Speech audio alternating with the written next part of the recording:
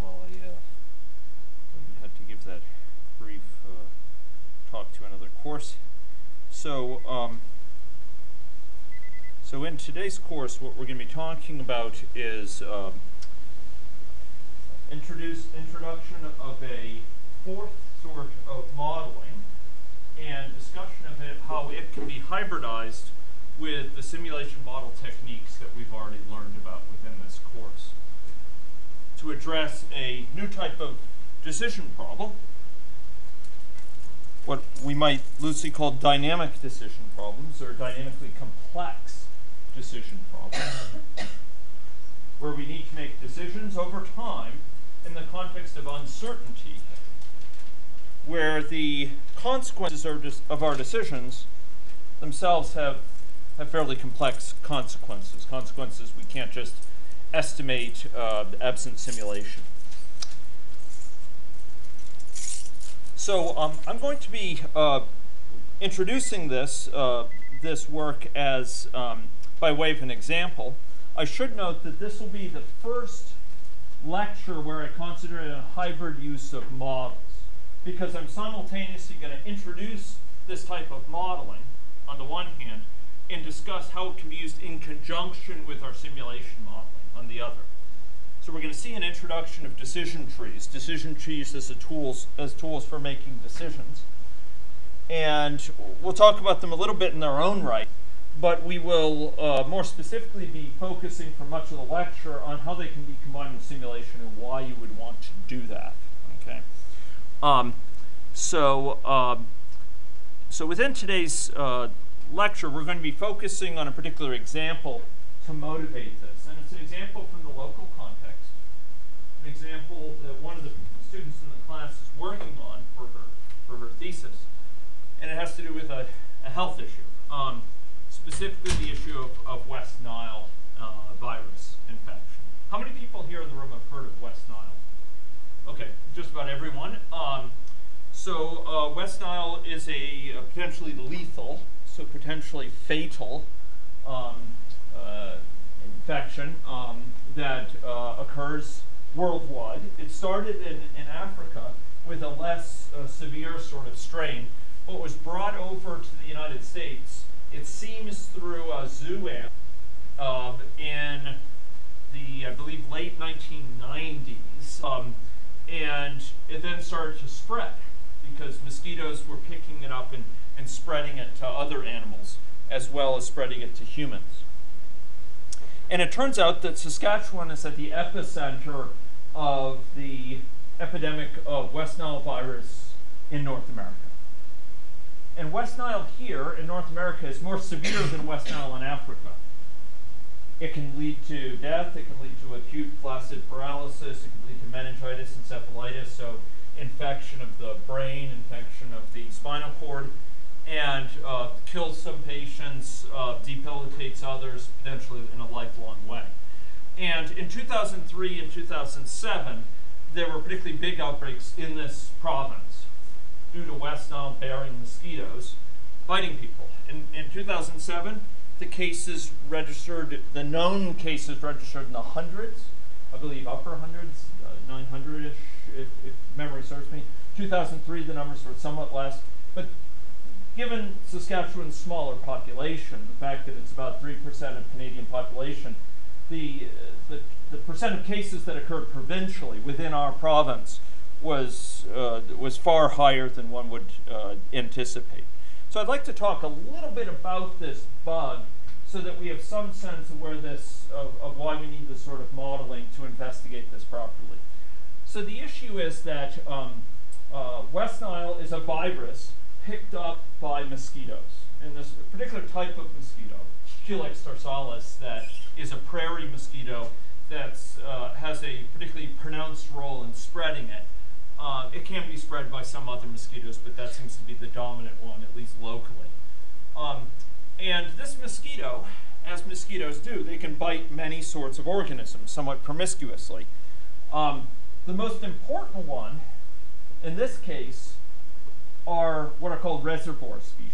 These are species that, other than, than humans, that harbor the virus at large enough amounts that it can both be given to them and taken from them um, and passed to other animals. So specifically the corvids, the family that includes crows, ravens, jays, and uh, uh, magpies, uh, are, are a family where it can get very high levels of virus within its body. And typically they die from it. typically they die within a few days of infection. I, bel I believe it's, it's, it's a fairly short life cycle. However, during that time, if another mosquito bites them, that, that other mosquito can pick it up and can bring the virus to another organism.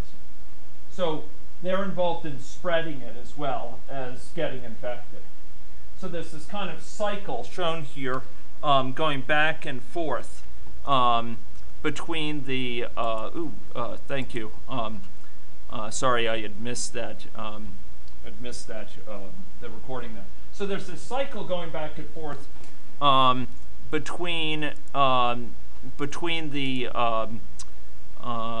okay, sorry, let me get this up for the remote people. I toned out on that the cycle going back uh, and forth between the mosquitoes on the one hand and the um, and the uh, birds on the other, whereby the birds harbor this virus, the mosquitoes pick it up and bring it to other organisms. And some of these organisms are other animals, like horses, which are particularly susceptible. They can be killed or, or severely disabled because of this virus.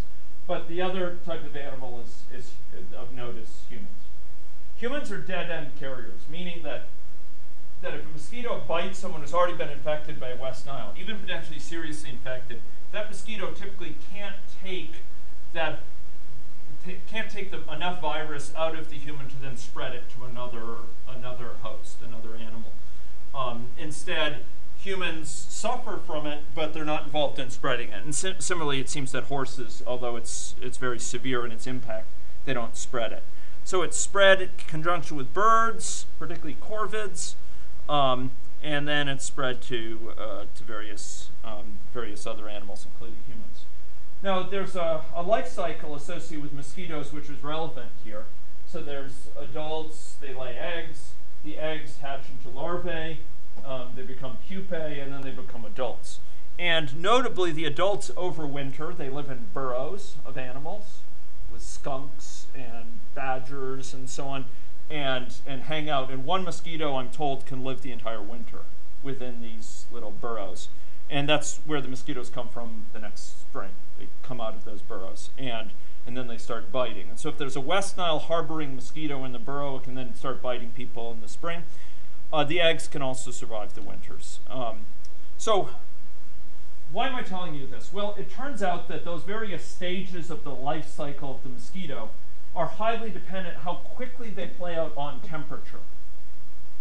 So if you've ever wondered why in hot years here there's so many darn mosquitoes, it's because that whole life cycle is accelerated.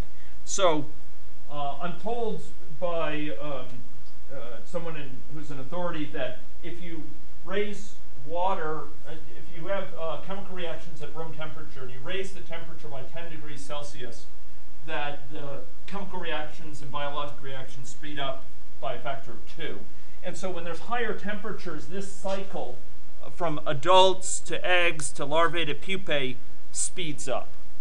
There's more egg laying that goes on. The mosquitoes are more bloodthirsty, so they actually take more blood meals. They actually bite more to extract a given amount of blood. They seem to be more flighty. And it speeds up the, the maturation of the larvae and the pupae. And importantly, the virus matures faster in the mosquito's gut. So temperature, high temperature, broadly speaking, means more mosquitoes and faster maturation of the virus. It matures more quickly within a given mosquito. So the mosquito becomes infectious in spreading it more quickly. Turns out that um, the environmental, the weather can also impact habitat availability. This is less of an issue here on the prairies because we have so many potholes with water in them around. Potholes not in the sense of street, but in the sense of, of uh, small ponds, sloughs um, uh, on various farms, etc. And rainfall uh, is also going to be, uh, be important in some areas, less so here. Okay, um, it turns out that that uh, the environment, the weather, is also important for human risk.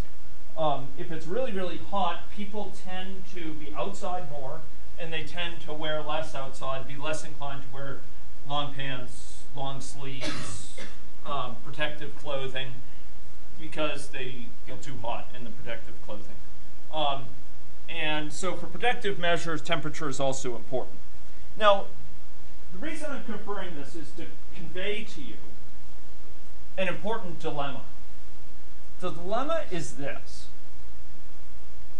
From year to year, the number of West Nile cases within this province varies hugely. I think this past year, we may have had one provincial case of West Nile. In 2007, I think we had something like 900 some odd cases that were known. The policy that's best for one year, say a year with high temperatures, may be a terrible policy for a year with low temperatures. It may be very wasteful to go around spraying to kill mosquitoes in large amounts. If the temperature is low enough, you're just not going to see the mosquito population grow that much and the virus won't be spreading quickly in it. On the other hand, you don't want to adopt the policy of low temperature years either. You don't want to just say, well, you know, hands off, we don't really have to worry, because in a bad year, it can be really bad. In a less bad year, it can be no worry at all. And how is a manager to decide what to do week by week to respond to this?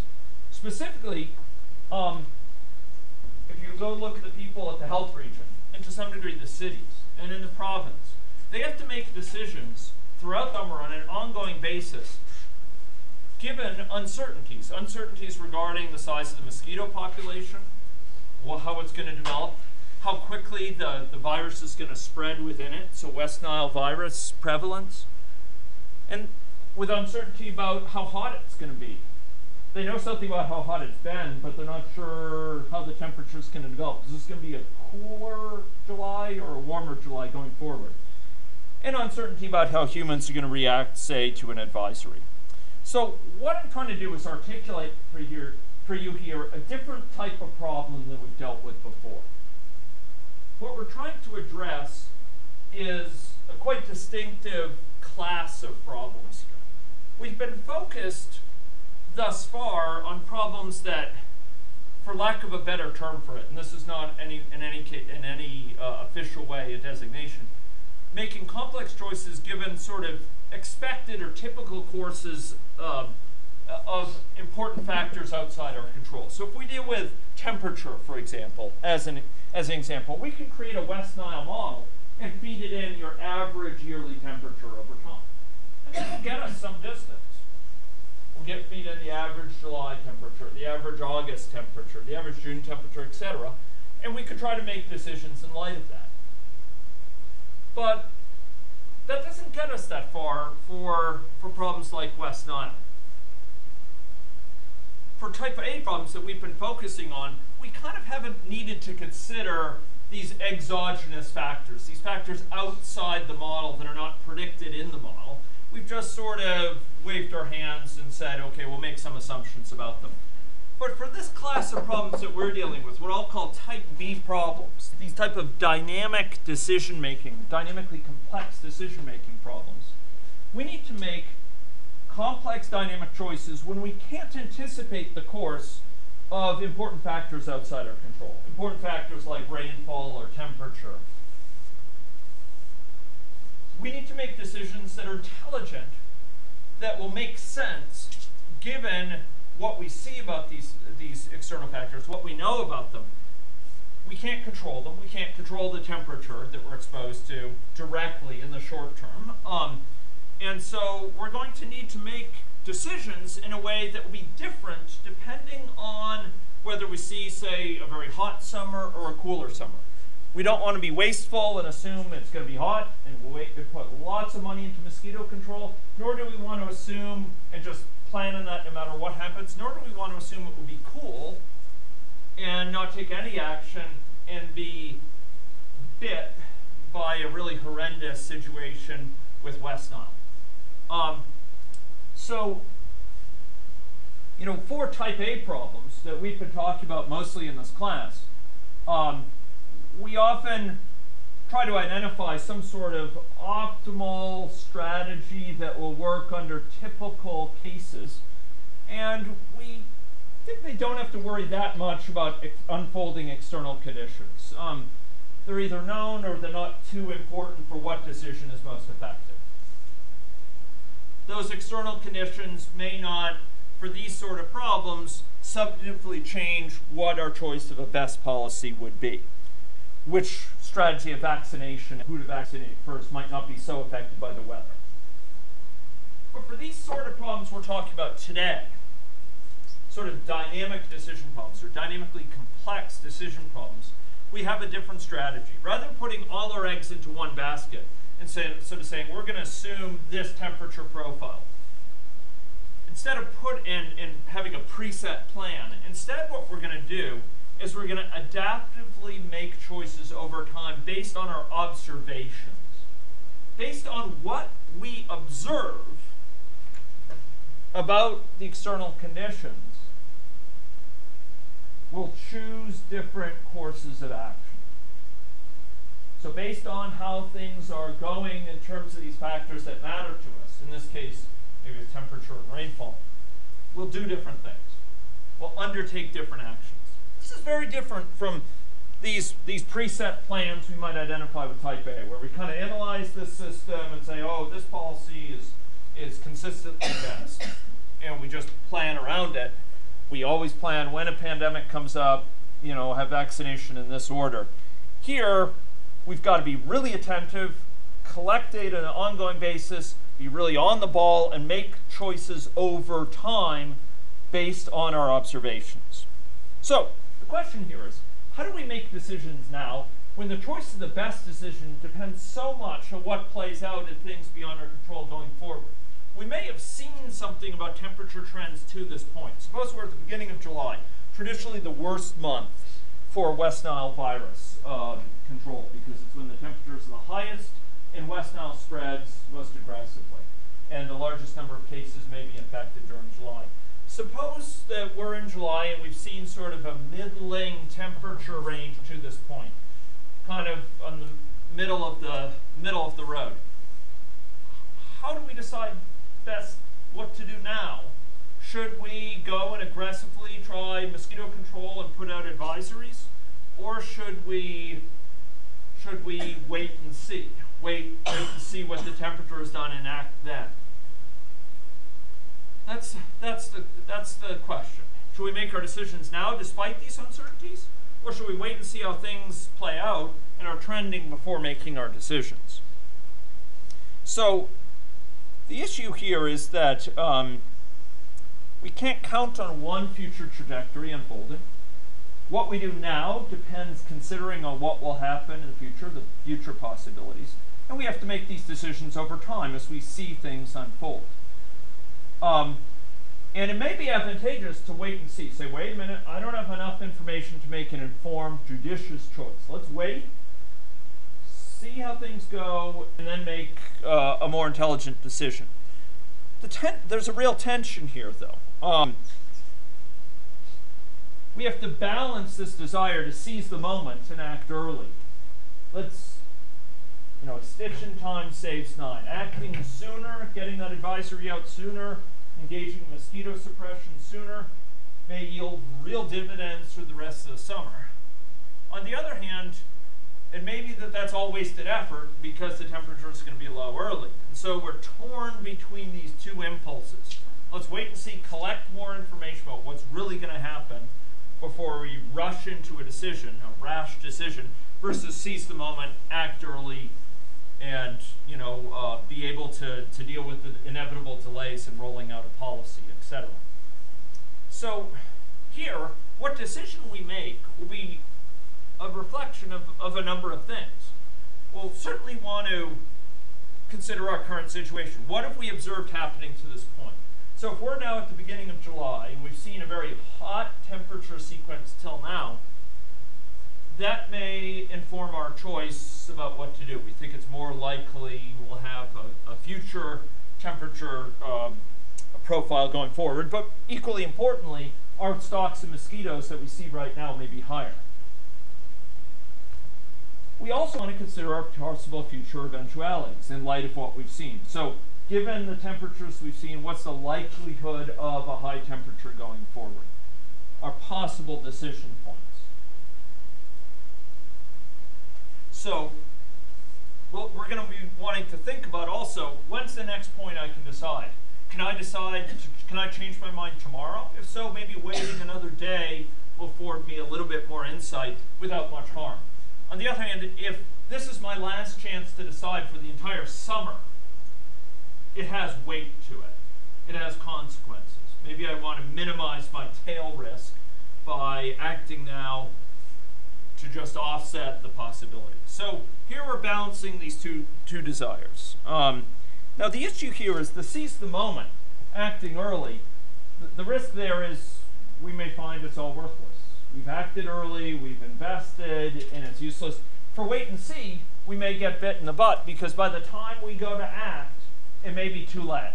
Too late. Cat's out of the bag, as we'd say. The cat's out of the bag. The uh, the, the situation has has reached a point where we can't do much. And indeed, by later parts of July, that's the situation we start to see human cases creeping up. And if we wait to see that, if we wait to see human cases coming, I'm told by those in authority here, it's really too late. Game over. You've waited too long. You can't really head it off because there's large numbers of people probably already infected. You're not going to be able to undo that. And the damage has been done essentially. You could act now, but the temperatures will be cooling anyway, and it may have a very marginal impact. So waiting and seeing can cause big problems because of the natural delays associated with the system. Um, it may be like vaccinating people after half the population has already been infected. It's, it's not going to confer much difference in how quickly herd immunity is acquired. Seizing the moment, on the other hand, may be, may be wasteful. So, what we're going to do today is to look at a, a hybrid architecture that tries to deal with these tougher problems. These problems where we have uncertainty over time, where we have to make choices over time, and where there are consequences for our choices. So here we're going to have a simulation model, and we're going to have a decision tree.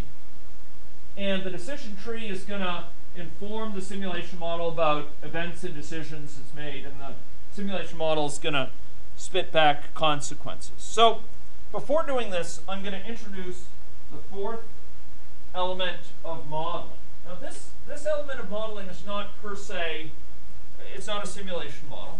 It's unlike system dynamics modeling, agent-based modeling, or discrete event modeling in the sense that it's not a dynamic model per se. This is not a model of state of a system evolving over time. We're not simulating out a system.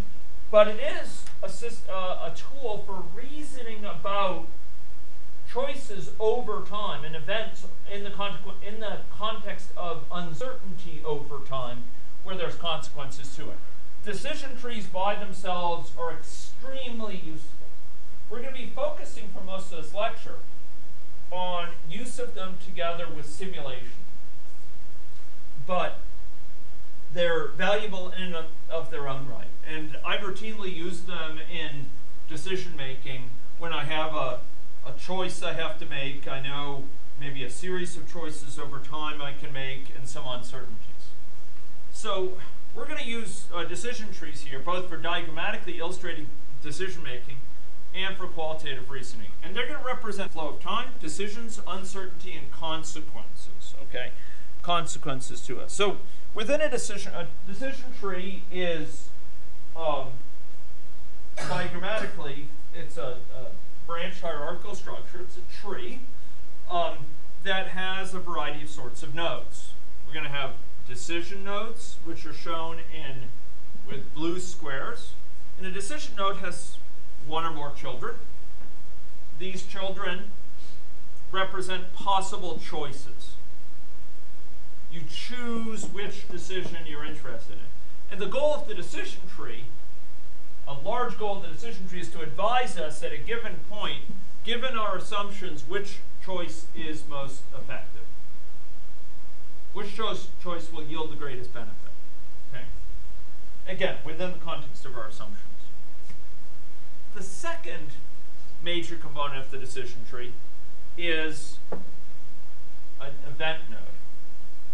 And an event node is, is quite different. A decision node we have we have control over.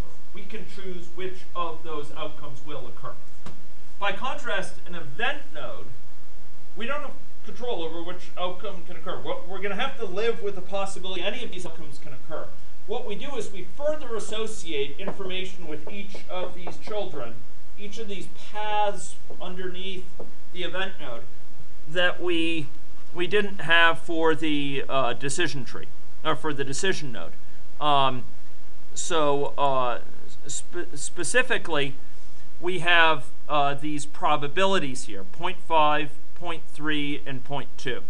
Okay, um, these probabilities indicate uh, the likelihood, if you've reached this point where an event's going to occur in the tree, with probability 0.5, it's going to be consequence 1 possibility one. Maybe this is low temperatures for the next week. Uh, with probability 0.3, it's going to be po possibility two. Maybe that's medium temperatures, you know. So maybe maybe possibility one is temperatures closest to 20 degrees Celsius. This is uh, temperatures closest to 25 degrees, and possibility three is temperatures closest to 30 degrees Celsius. So that's a set of discrete possible outcomes associated with this event. The final type of node is, excuse me, a terminal node. Terminal node represents some sort of consequence. It's the leaf nodes in the tree, okay?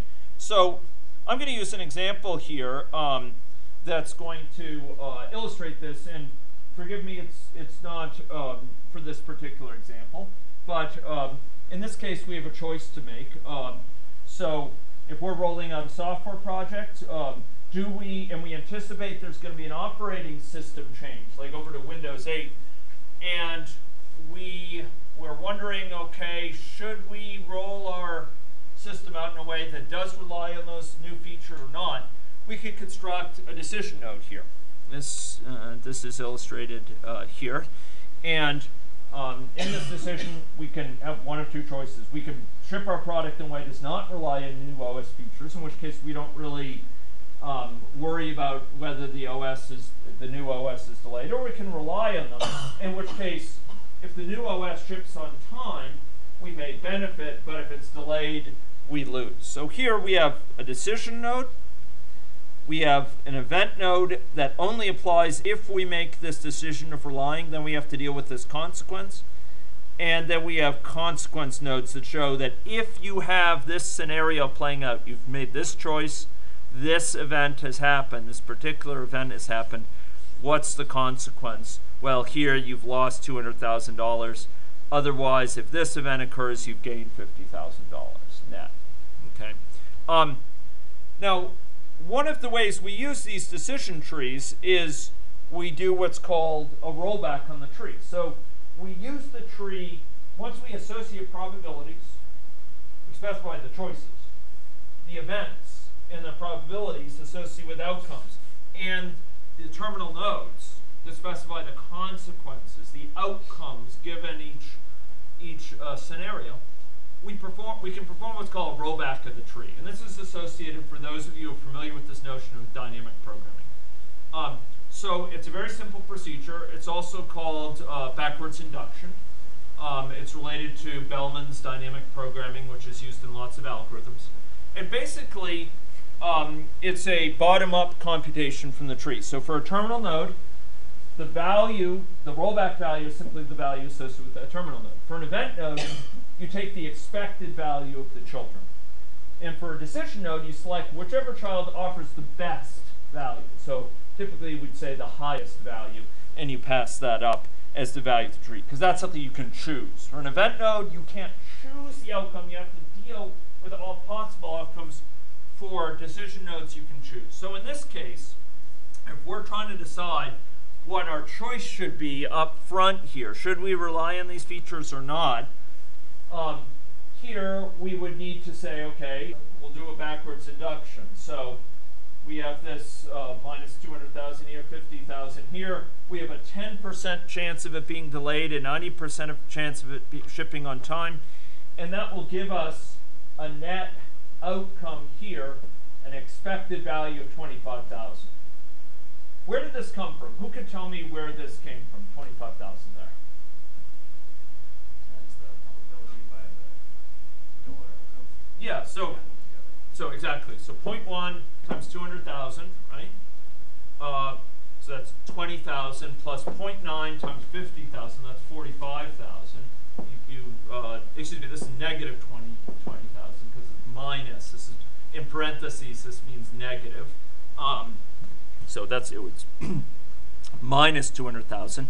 So so it's 0.1 times minus 200,000 is minus 20,000 plus 0.9 times 50,000, which is 45,000. You sum, you have 45,000 minus 20,000 is 25,000. And here, this other alternative, so the net gain of this, the expected gain, is $25,000. That takes into account the possibility that you're exposed, 10%, and the consequence of that, plus the, the possibility that you won't be, it won't be delayed in the gain from that. And so the net, the best choice here is what? Best choice here is to in fact rely on these features. You get a net gain of 25,000 compared to a net gain of, of, of zero here. Um, so even though you're exposed, you can uh, have a net gain. So, you know, you could expand these decision trees to have several different levels. Um, so here we could, for example, decide, okay, do we rely on the new OS features? If so, if it is delayed, do we ship, go ahead and ship anyway so it's, it's available for customers, or do we wait for the final OS release for a final set of testing? And here you have two layers of decisions. Now in our, our case, uh, and we can do the rollback for that as well. Um, so here what we're doing is we're using decision trees to identify what are called optimal decision rules. And this is an optimal light of our, of our assumptions. So essentially what a decision rule is doing is it's suggesting to us what we should do given any possible eventuality. So what our sequence of choices should be um, uh, for despite any sort of eventuality. So, um, you know, if we, I'll, I'll come back to this example here. If we reach this point, for example, where the OS is delayed, we'll have some understanding of what we should do in that case. If, on the other hand, but it also gives us a recommendation what to do up front. So no matter where we explore in the tree, we should be ready by knowing what we should do. That's what a decision rule will specify. It'll tell us for this sequence of events, observed events over time, if it's consistently cool in the summer, this is best. If it's consistently hot, do this. If it's medium temperature now, you know, for now do this, and then wait a few more weeks before you decide whether to do X, Y, or Z. Okay, so decision rules, uh, trees can be used to try to identify optimal decision rules. And, and it tries to specify what we should do given any possible eventuality. Okay, so in this case, and again, apologize, I should have, uh, uh, should have updated this slide, but we can imagine here with each decision where it says expand capacity, no expansion. The expand capacity is, um, is perhaps here um, you know, undertake issuing an advisory or undertake uh, source reduction for mosquitoes to eliminate mosquito habitat or other mosquito uh, interventions. Um, so here we might have an initial decision and then we wait and we see what plays out in terms of mosquito populations or, or temperatures and then we have another set of decisions perhaps a week later. And indeed, in the health region, just downtown here, and in health regions elsewhere in Saskatchewan, you have what are called bug busters meetings. And every week, they, week they meet to review, okay, what has the temperature been till this point? Where are we at now in terms of how much West Nile virus we see among mosquitoes? How are we now in terms of temperature or mosquito counts? And they decide, okay, should we undertake an intervention or should we hold off? Should we issue an advisory or not? That's literally a week by week um, decision that's that's made. So I'd like to introduce some some terminology for dealing with decision rules. This is this is abstracting away right now from the whole issue of simulation. We'll see where that comes in in a little bit. But I'm talking now about these decision trees. And in the context of these decision trees, we speak about decision rules as this mapping from from events and decisions which have previously occurred to what to do now for this decision. For any given decision, if you reach that point in the decision tree, what should you do? That's what a decision tree, uh, decision rule will give you. And there's two types of decision rules that we can delineate here. One is a static decision rule. And this type of decision rule will pursue the same set of predetermined decisions regardless of eventualities. It stays the course. It just sticks to the same choices no matter what is observed. So it would be as if the health region here decided, look, before the summer begins, whatever happens in terms of temperature, we don't have time to monitor that and so on. We're just going to issue advisories. We'll put advisories on TV and in the paper and you know on, on our websites. We'll send out news releases, etc. on this schedule, and we'll engage in source reduction and larviciding. That's what we're going to do no matter what happens. That's an example of a static decision rule. They stick to the same plan matter what is observed. An adaptive decision rule is something quite different. It varies its decisions, its actions, the choices that are made based on what events have, um, have occurred. That is, what things have been observed. So if you have observed this, do that. And this is actually what the health region does. This is what the province does. They observe week by week. they observe these things, they talk about it, and they try to act. The observation here is that static decision rules are rarely optimal. When you have a situation where the outcome is strongly influenced, the effectiveness of a given policy is strongly influenced by factors outside of your control, it's rarely effective to just stick to the same plan. Instead, you should be watching what's going on and making your choices accordingly. It'd be kind of like trying to drive to Regina with your eyes closed. It'll be a very unadvisable decision rule to try to drive down, um, even if you think you know the route well. You need your eyes open to inform your choices. And there you're going to want to use feedback. And this is where simulation will come in. Okay, so let's talk about a static decision rule. We'll, we'll illustrate a static decision rule in the context of the decision tree. And I apologize, this should say, again, instead of expand capacity and no expansion, we should really say undertake intervention versus no intervention. You know, undertake uh, issue advisory versus you know wait and see. Um, and this could be high early growth of mosquito population, low early growth, or high early growth of temperature versus low low early growth, what have you. Um, so this is an example of a static decision rule. Why do I say it's static? Can anyone pick out for me why this decision rule, this set of choices that's recommended, that's shown here, why is that, why do we say it's a static decision rule?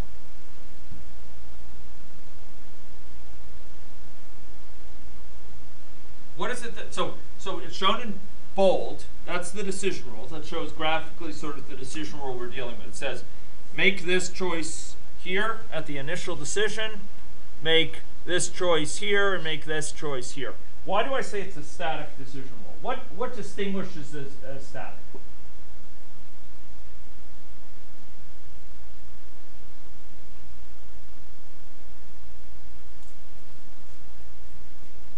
What distinguishes that as static?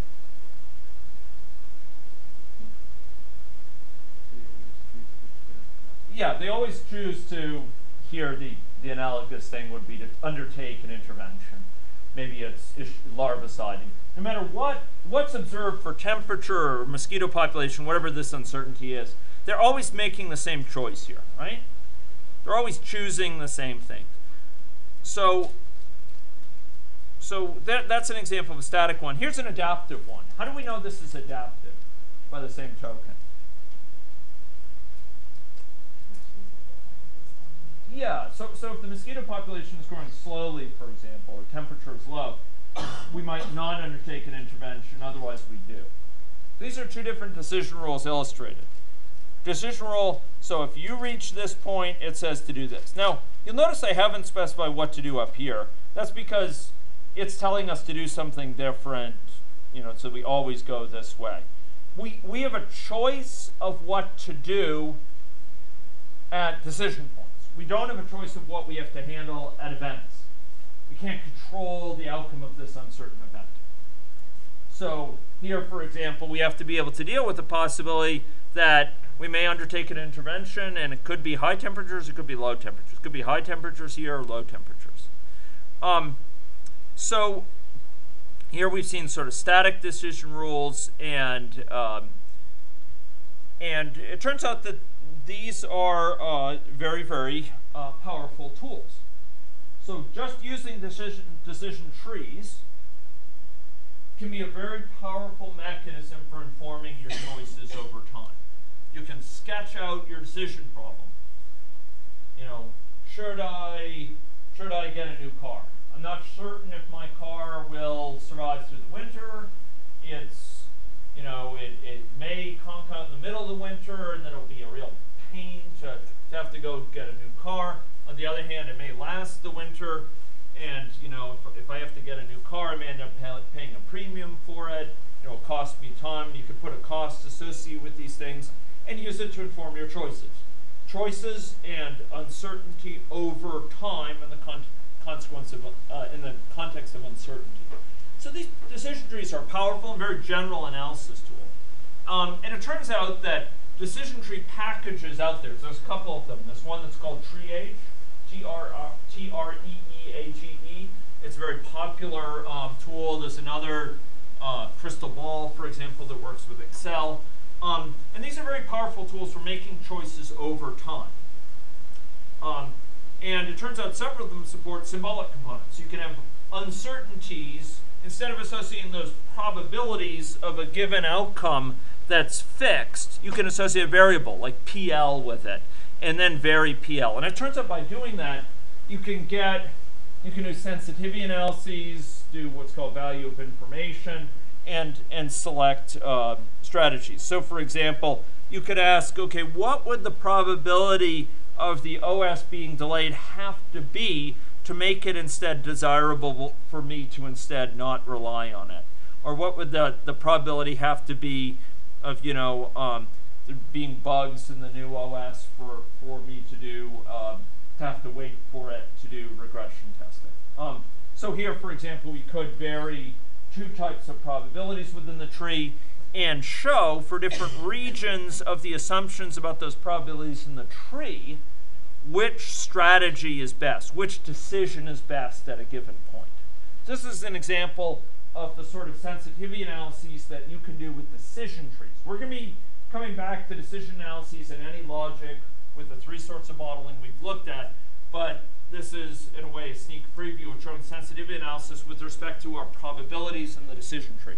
And this is very powerful because it's highlighting for us kind of the ranges of uncertainty where we need to make one decision or another. Um, and sometimes we care about multiple attributes. Maybe we care not only about human, um, you know, the human consequence of West Nile infection, but we say, we also want to save costs.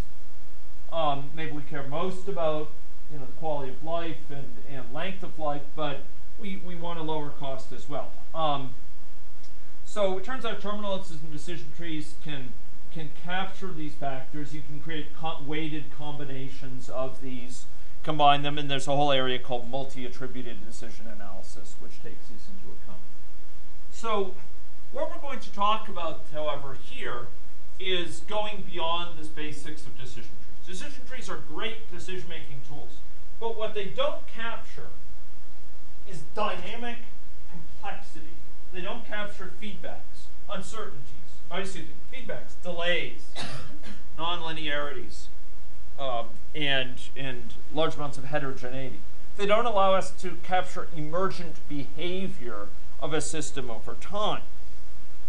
So what we're going to look at today is combining simulation models on the one hand with decision trees on the other. And we're going to try to knit them together. Given the time, we'll probably have to bleed into next um, the next uh, lecture. But we're going to talk about fusing them in a way that um, you'll find uh, is, is has been very very little tapped into. Um, this this is uh, a very very novel approach. Um, okay, so um, we're going to focus on a hybrid approach, brings together simulation model. Any of the sorts of simulation model we've captured thus far can be folded into this. So you can use it with discrete event modeling, we can use it with agent-based modeling, we can use it with system dynamics modeling. Now, uh, one of the members of the class, who unfortunately is not feeling well right now, um, and can't be here, on one Yi, um, she normally sits uh, right over there. She's actually built software to bring these two together for Vensim, but she hasn't done it for AnyLogic yet. She's working towards that, or she will be working towards that. Um, but um, I want to talk about this hybrid approach, how it works conceptually, and then we'll um, uh, we may take a look at how, how it's actually applied with, with Vensim in particular. So this is a framework that's geared towards an ongoing process of observation decision making. So um, it's capturing this element of decision trees where we're observing things over time and making decisions accordingly. Um, it simulates a broad range of possibilities. Um, for, for outcomes. So here for West Nile, for example, we'll be simulating a wide variety of possible temperature profiles over time. Not just one. We wouldn't be trying to find out the best decision to put into place about what intervention to use. Do we larvicide? Do we issue an advisory? Do we do nothing for West Nile for some fixed temperature sequence? Instead, we look at a wide range and we figure out what to do for each of them. Under this condition, we'll do this. So we can be poised to trigger the right, the right action under the right circumstances. Um, and we're going to do that in a staged way. We're going to do it in an incremental way. So week by week, based on what's going on, based on the observations, what do you do now? Um, and some of these decisions could be wait and see. We're going to wait. We're going to collect more information. We're going to learn about what's transpiring and then undertake things accordingly. Taking into account that trade-off that we may be really pushing the envelope. And the approach here can be used for diverse uh, challenges. We're using it here for, um, for uh, you know, health policy, but it's equally applicable for industrial decision making. Um, some of the, the types of work that Darian is doing, for example, with his um, you know, road building uncertainty about how things will play out in, in terms of oil field development. Very much fall, fall under these lines. So what's the basic um, division of responsibilities approach? Well, it's a divide and conquer. We, we break up the responsibilities of handling different components of this into two different pieces. And there's, the two pieces are a decision tree, on the one hand, and a simulation model on the other hand and each of them has a set of responsibilities. So the decision tree represents sequences over time of uncertainties and decisions, and it, it represents a set of choices, uncertainties, and consequences. Uncertainties are represented event nodes, decisions and decision nodes, and consequences and terminal nodes, just like we've seen. These outcomes could be cost, they could be quality of life, they could be quality adjusted life years lived. They could be, they could be, um, you know, number of deaths or minus number of deaths. So, so um, a larger number is is, is better. Um, and really, the decision tree here is kind of taking care of encapsulating, of capturing policy space. It captures sort of different possibilities and what decisions you'd make under them. It captures all uncertainties. it encapsulates them. It, it, it makes it so that the simulation model doesn't have to worry about them internally. It doesn't have to worry about the uncertainties associated with temperature. Instead, the simulation model is going to be responsible for calculating the dynamic consequences, the consequences over time of a sequence of events, so uh, say temperature outcomes, So was the temperature hot during this week? Was it cool during the next week? The simulation model is going to take care of simulating the consequences of heat and high temperatures in this week, cool temperatures in the next week, and of choices.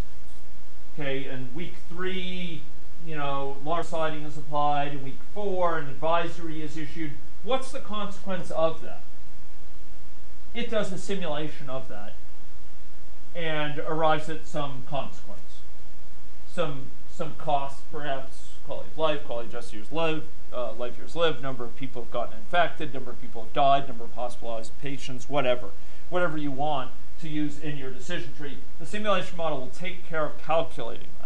Okay, so um, for our case, for, for this case, we might have the simulation model responsible, for example, for representing the dynamic features of the situation mosquito life cycle, the bird life cycle, transmissions between mosquitoes and birds. We know how to do that in a simulation model. We know how to do it, in fact, in a in a Vensim model. We know how to do it in an in a agent-based model, you know, stock and flow or agent-based. We we can do that. Um, we can represent human infections and disease progression, and we can factor in cost, etc. Um, for decision tree, we can represent instead decision options over time. Um, so this might be things like source reduction, larvicidal vaccinating, wait and see, adulticiding. These are all types of anti-West Nile virus interventions typically undertaken either with respect to people, like an advisory, or with respect to mosquitoes, like reducing the source habitat or larviciding, and people also vaccination. There's also uncertainties to represent in the decision tree temperature. Temperature, again, being critical because it affects mosquito maturation, how many generations of mosquitoes play out during the summer. Is it six or is it three? It'll make a big difference for mosquito counts and the risk for humans. That's all captured in the decision tree as far as you know temperature uncertainty, and then the consequences that are passed by the simulation model. So let's let's talk uh, talk a bit about these. So the West Nile virus system dynamics model. This is something 1E is working on. Um, it was uh, previously built up uh, by a couple of generations of students as well as myself. I'll provide it to the class in case there's interest. Um, but basically what we have here is we have a set of representation of mosquito life cycle, eggs, pupae, and larvae, and um, susceptible adults, exposed adults, and infectious adults. And um, these are mosquitoes. And these mosquitoes then bite birds. And there's actually representation of birds. And then there's, there's humans as well. So there's a sort of stage representation of birds um, that distinguishes juvenile from adult because it's easier to bite juvenile birds. Mosquitoes seem to like their tender flesh. Um, and then we have humans in terms of uh, progression of, of human cases. Then we have a decision tree. So here what we have is decision nodes choosing between different outcomes, do nothing, source reduction, larviciding, etc.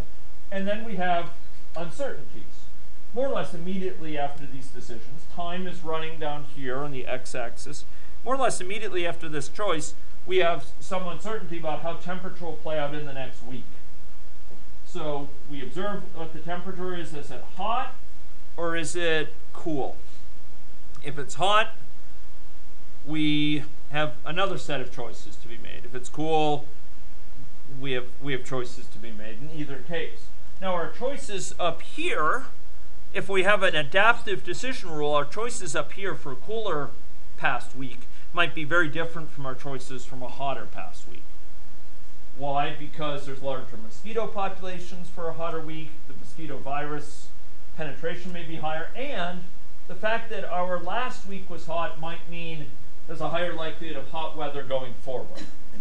So for all those reasons, we might we might choose something different for each of these um, each of these decisions here. So with a with an adaptive decision rule, we might we might choose something different for this outcome than for or for this decision than for this decision. And eventually this plays down and we have a set of terminal nodes. Maybe this is after week 12 at the end of the summer. We have a set of consequences. And these consequences are going to depend this is important. A given consequence here will depend on the sequence of decisions and of events that have occurred from the root on down. So let's let's take this consequence. This consequence was shaped here by this choice, this this sort of outcome, a higher temperature here, this choice here, and then this this sort of lower temperature here, and then it looks like this choice of larviciding here, and and then this this temperature outcome if I've got the right one. The point is it depends on this particular path over time. And when the simulation model is going to calculate that consequence, it's going to calculate, simulate out what happens when you choose this at this time, when this temperature starts, you know, it's higher temperature in the first week, and then you, you choose this other thing, and then it's lower temperature, da da da, and it's going to arrive in the end at some number of human cases, for example, and it will associate that with the terminal node. Okay, um, so uh, there's a there's a package, as I mentioned, that that 1E has built. Uh, where you can actually select a decision tree built in in, in Vensim, excuse me, a simulation model built in Vensim, and you can then specify for this tree um, the number of layers of the tree, the start time of the tree, um, what's the decision node variable that you want to, how do you tell the decision, the, the simulation model what um, decision has been made at a given point, and what are the different possible outcomes of that. So you might list several possible outcomes, and then you can um, can specify, okay, what value of the decision of the simulation model should be used, what variable should be used for the terminal nodes, and then what variables associated for encoding the events over time in the simulation model. And uh, as a result of this, um, the, uh, there'll be a decision tree created, which can then be run uh, automatically by the software. And it may run Vensim 1,000 times, may run it 50,000 times in order to evaluate this decision tree. And it eventually it will arrive at something like this, although with a much bigger tree potentially.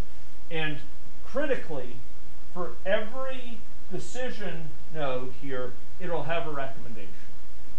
So given everything that's occurred till this point, and all these uncertainties going forward, and all these possible future choices that could be made, what's the best choice now? Given that you will later have a chance to make a choice, say down here, whoa, um, uh, have a chance to make a choice down here, what's the best choice to make here? It will consider all that and come back through this rollback procedure with a recommendation of what to do if you reach this decision point. So in the context of a world where uncertainties are sometimes pronounced, this can be very valuable, and it's valuable in the decision tree, uh, in the West Nile context in particular.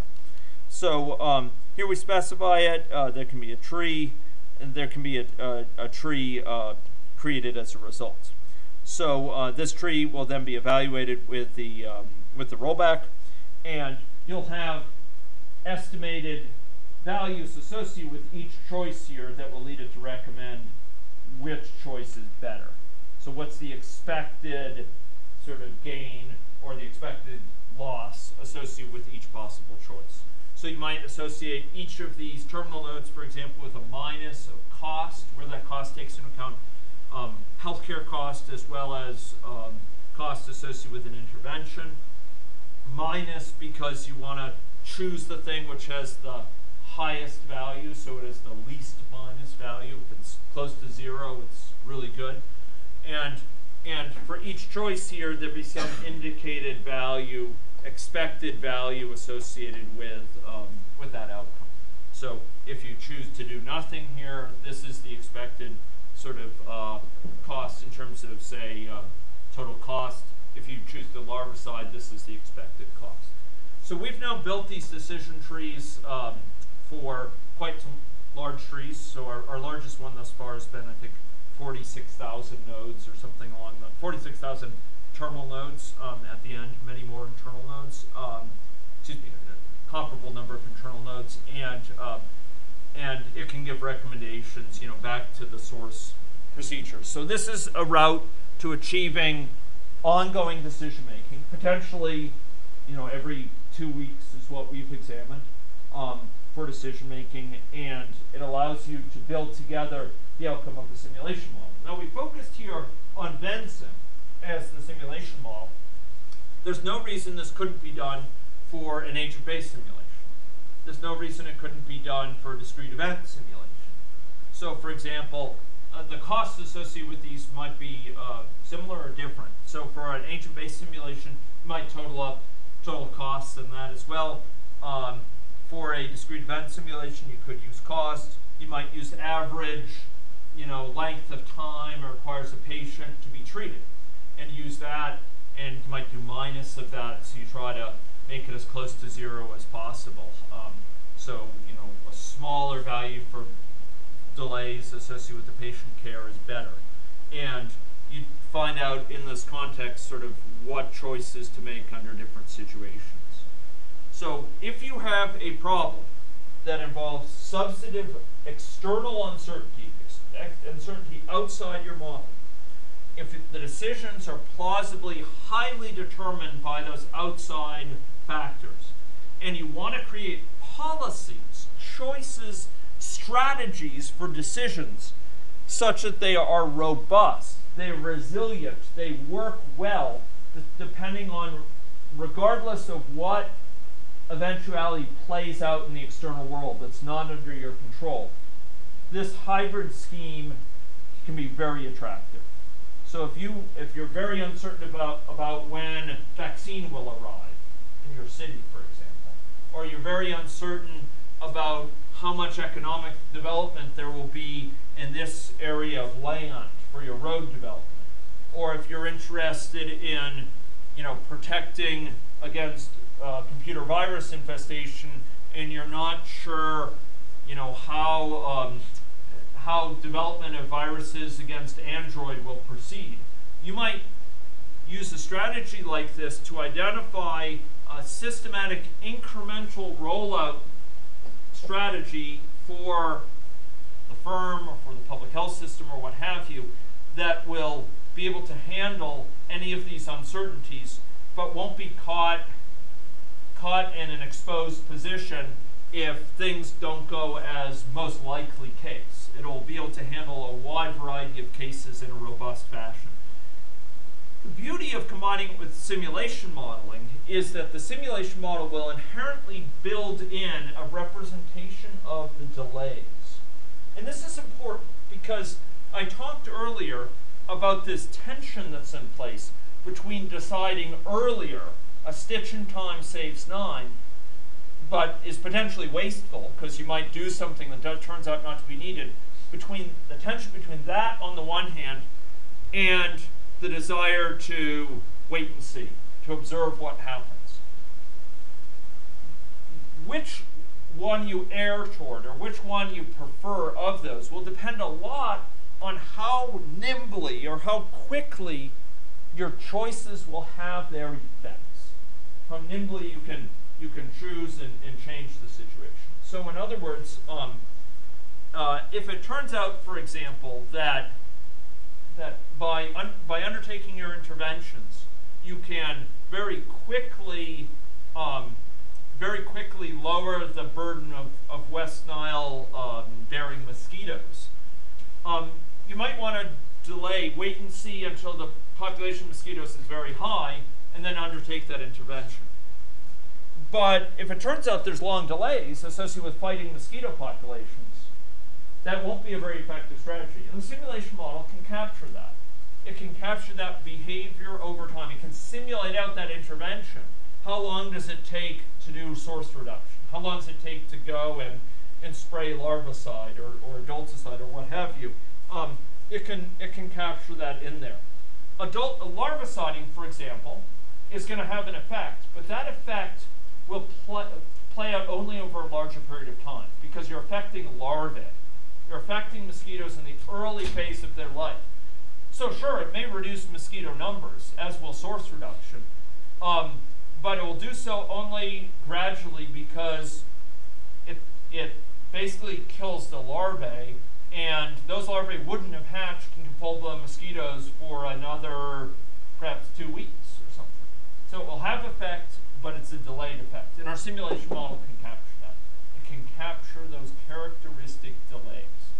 So building together simulation models, capture the delays, the feedbacks, the nonlinearities, the complex dynamics on the one hand, and decision trees, which capture the uncertainties, the choices to be made, and and uh, capture the ability to do this rollback to identify the best decision rules. A very powerful combination. So that's what I wanted to talk about today. Um, in our next lecture, we'll be looking more broadly at the issue of hybrid modeling, hybridizing the sorts of models that we've built thus far, stocks and flows, agent-based models, and discrete event models, so that um, we can we can play to their both their best strengths for each of them. How do we combine them so that they they yield the greatest gain collectively, and so they complement each other's weaknesses? That's what we look at more next time. This is just the first example of a, of a hybrid technique. So we'll see some more next time, and uh, then we'll be going on and discussing some general types of processes that apply across all, all these dynamic modeling types, including calibration, sensitivity analysis, debugging, visualization, getting data in and out of the model, and those sorts of important. Okay? So that's all for today. And I'm hoping within the next day to finally send you back your uh, PSET 1, um, which I'm just going over, sent it earlier by the TA for this week, and so I'm just going over it. I'll try to get that back to you in the next day. Thanks very much. Yes. Uh, uh, Friday morning? Oh, oh, these, oh yeah. Okay, just maybe. Yeah, yeah, yeah. Two people missed the change of time, so. Y- Yeah, It um, was originally Thursday, but I